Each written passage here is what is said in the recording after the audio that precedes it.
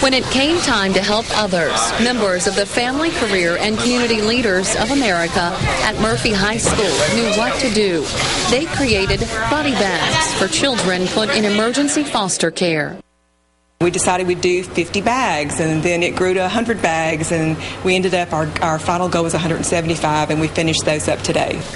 For their hard work, the group receives this week's Chris Myers Extra Mile Award and $500.